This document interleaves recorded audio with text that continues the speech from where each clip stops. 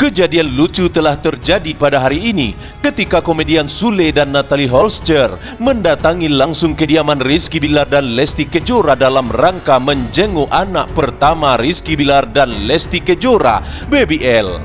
Sule bersama Natalie Holster mengakui terkejut dengan Baby L yang sudah bisa mengucapkan kata prikitiu. Mendengarkan hal tersebut Sule tiba-tiba pingsan seketika. Bagaimana ulasannya? Inilah Fiternik News Update kali ini.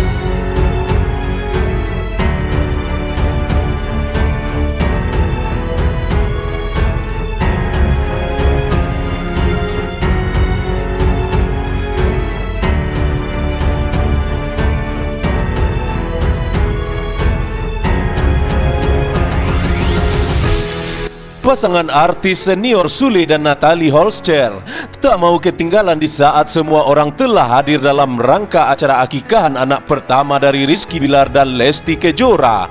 Makanya mereka juga ikut hadir untuk melihat Baby L dan memberikan hadiah kado yang paling spesial di antara kado-kado dari artis yang lainnya. Bukan itu saja, bahkan juga tak lupa untuk mengucapkan selamat atas kelahiran anak pertama dari Rizky Bilar dan Lesti Kejora. Komedian kocak ini memang selalu ada-ada saja kerjaannya dan ini selalu membuat orang tertawa terbahak-bahak. Kejadian ini telah terjadi di saat Sule membuat guyonan dengan kata-kata khasnya yaitu prikitiu. Dengan guyonan inilah membuat Baby L terpancing tertawa lucu terbahak-bahak. Malahan menurut keterangan komedian Sule mengatakan bahwasanya di saat dirinya menggoda Baby L dengan kata-kata prikitiu tersebut membuat Baby L bersuara dengan lucunya persis halnya seperti apa yang telah diucapkan oleh komedian Sule. Alhasil, suasana menjadi heboh seketika. Kejadian lucu dari Sule ini menjadi topik pertama dalam pembahasan kita kali ini. Dalam selanjutnya diketahui juga Sebelumnya pasangan muda Rizky Bilar dan Lesti Kejora diketahui telah dikaruniai seorang anak laki-laki yang bernama Muhammad Leslar Al-Fatih Bilar. Tak lama setelah kelahiran dari Baby L, pasangan ini langsung dibanjiri kado dan hadiah dari berbagai pihak. Salah satu yang lainnya adalah dari Gilang Widaya Pramana, seorang crazy rich asal Malang bos MS Glow. Ia bersama istrinya Sandi Purnamasari berkesempatan jauh-jauh datang ke Jakarta untuk menengok langsung anak Rizky Bilar dan Lesti Kejora. Kunjungan kali ini juga diketahui sebagai rekan dan juga partner bisnis sebuah produk kosmetik kecantikan. Di saat pertemuan kemarin terjadi perbincangan yang sangat hangat dirasakan oleh mereka. Tadi kita janjian mau nengok Baby L. Dan tadi Alhamdulillah babynya sehat dan lucu. Mirip banget sama bapaknya. Namun di saat akikahan dari Baby L Kita diundang juga Tapi kita di Malang. Ujar Gilang saat ditemui di kawasan Jakarta Selatan. Bos dari MS Glow itu begitu senangnya melihat rekannya yang punya anak cowok Sebab ia mengidam-idamkan untuk memiliki anak cowok juga Gemuk, sudah lebih berat badannya. Kita pengen banget anak cowok tapi belum keturunan.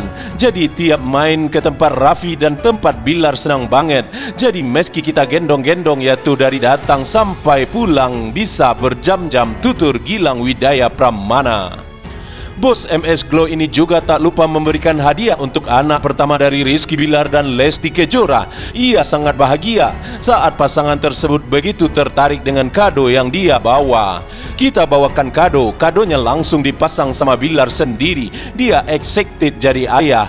Kadonya stroller sih tadi, kata Sandi Purnama Sari.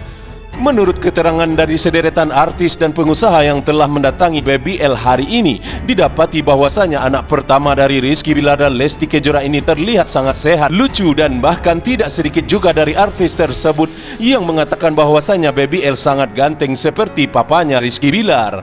Hal ini sontak langsung membuat aktor muda Rizky Bilar yang mendengarkan komentar tersebut dibuat tersipu malu sendirian. Bahkan di saat yang bersamaan juga, Lesti Kejora tidak henti-hentinya membuli aktor muda Rizky Bilar yang nampak di saat wajahnya menjadi memerah akibat dipuji dari sederetan artis tersebut. Dilansir juga pada hari ini, kediaman dari Rizky Bilar dan Lesti Kejora masih terpantau ramai dengan sederetan tamu yang datang untuk berkunjung dalam rangka melihat Baby L. Mulai dari rekan host Ramzi beserta keluarganya, nampak dalam unggahan terbaru dari Lesti Kejora yang ikutan bermain TikTok bersama anak dari host kenamaan Ramzi tersebut. Sembari menengok Baby L hari ini, Ramzi juga ikut membawakan kado yang spesial untuk Baby L.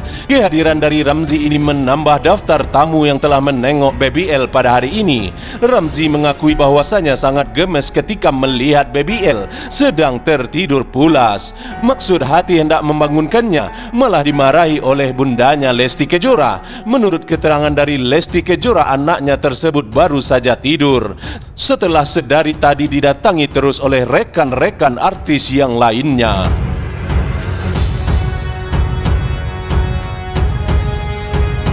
Sederetan foto-foto dan video singkat dari Baby L pun hari ini telah diunggah di laman media sosial.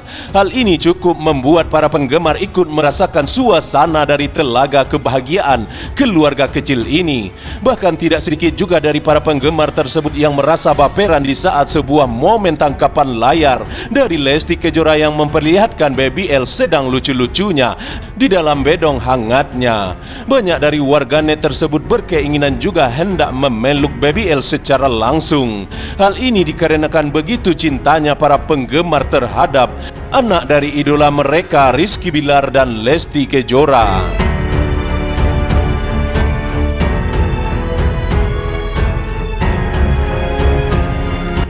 Dalam informasi yang terakhir juga didapatkan beberapa kegiatan yang akan dibuat secara mendadak dari BBL hari ini. Namun untuk perihal acara apa yang mendadak tersebut masih menjadi rahasia dan tanda tanya besar bagi sebagian warganet di laman media sosial pada hari ini. Banyak dari warganet tersebut yang menerka-nerka kegiatan mendadak yang akan dilakukan oleh Lesti Kejora dan Rizky Bilar. Apalagi untuk Baby L sudah barang pasti akan ditunggu-tunggu oleh para penggemarnya yang ada di mana saja. Semoga kegiatan yang telah direncanakan oleh keluarga kecil yang bahagia ini akan selalu diberi perlindungan oleh Allah Azza wa Jalla dan juga akan diberikan kelancaran serta keberkahan rezeki.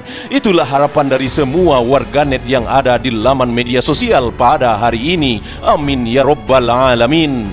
Demikianlah berita ini dilansir. Sampai jumpa di Fitur News Update selanjutnya. Salam, terima kasih.